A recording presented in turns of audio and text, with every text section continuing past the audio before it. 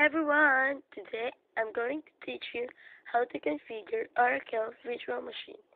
So sit back and enjoy. First, install the Oracle Virtual Machine.